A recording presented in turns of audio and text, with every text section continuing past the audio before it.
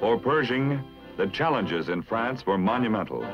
He had the task of shaping and training an army force which in a year and a half would expand to two million men. Pershing firmly believed that three qualities were necessary for Allied victory, an offensive spirit,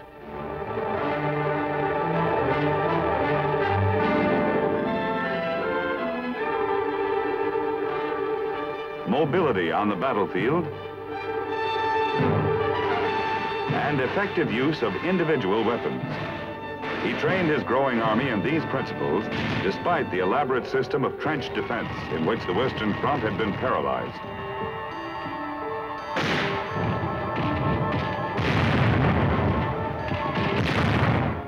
Marshal Foch decided the time was ripe for one great coordinated Allied offensive. The AEF's first assignment was to be the reduction of the Saint-Mihiel salient, a projection 16 miles into the Allied line below Verdun, which the Germans had held for four years and which hampered lateral communications along the battlefront.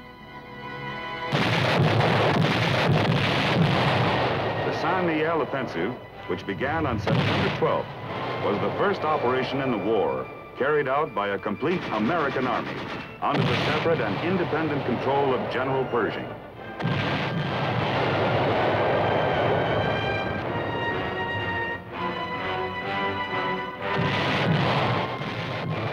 A striking success. In two days, the Yanks took their objectives and the salient was reduced.